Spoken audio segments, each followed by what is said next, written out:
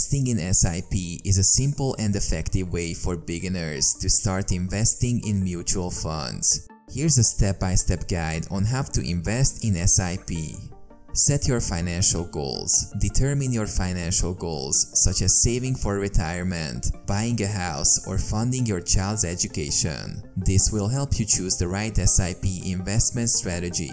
Research and select a mutual fund. Research different mutual funds based on your risk tolerance, investment horizon, and financial goals. Look for funds with a track record of consistent performance and a strong fund management team.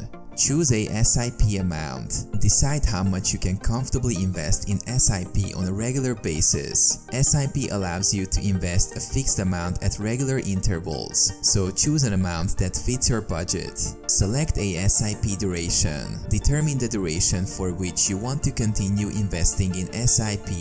It can be a few years or until you achieve your financial goals. Longer durations generally offer better returns due to the power of compounding. Open an investment account. Open an investment account with a mutual fund house or a reputable online investment platform. Provide the necessary documents and complete the registration process. Start investing. Choose the mutual funds you want to invest in and set up your SIP. Specify the amount, frequency, and duration of your SIP. You can set up auto-debit instructions from your bank account for seamless investments.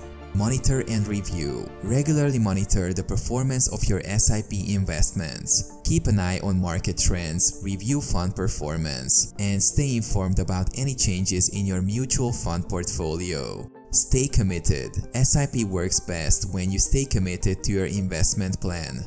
Avoid making knee-jerk reactions to short-term market fluctuations and maintain a long-term perspective. Consistency and discipline are key to achieving your financial goals through SIP. Increase SIP amount. As your income grows or you have more funds available, consider increasing your SIP amount to accelerate your investment growth. This can help you reach your financial goals faster. Seek professional advice. If you're unsure about selecting mutual funds or need personalized guidance, consider consulting a financial advisor. They can provide insights and recommendations based on your specific financial situation and goals. Remember, SIP is a long-term investment strategy, and it's important to have realistic expectations about returns and risks.